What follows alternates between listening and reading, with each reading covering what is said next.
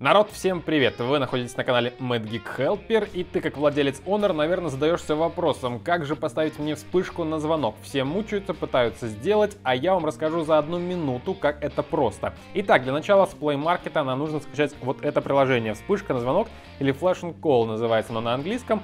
Устанавливаем. Оно довольно мало весит, быстро скачивается, всего-то 14 с чем-то мегабайт, подождем. Итак, как только приложение скачалось и установилось, оно появится у нас, конечно же, на рабочем столе. Мы его запускаем.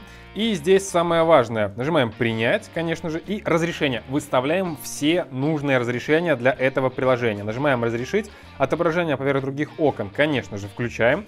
Возвращаемся назад. Он немножечко подгрузится. И теперь выбираем, э, так сказать, пресет. То есть нам нужно Вспышка на звонок. Доступ к таким звонкам ставим. Доступ разрешить. Доступ к камере разрешить. Выбрать все давайте сразу же. Разрешаем все. Готово. Отлично. Привет, привет, окей, старт. Смотрите, сейчас будут пресеты, нам нужно выбрать конкретно, который будет работать с нашим смартфоном. Итак, подождите 5 секунд, ждем. Работает ли сейчас вспышка? Проверяем. Не работает? Нет. Теперь пробуем другой способ. Старт нажимаем. А вот теперь вспышка работает. Все, нажимаем, что...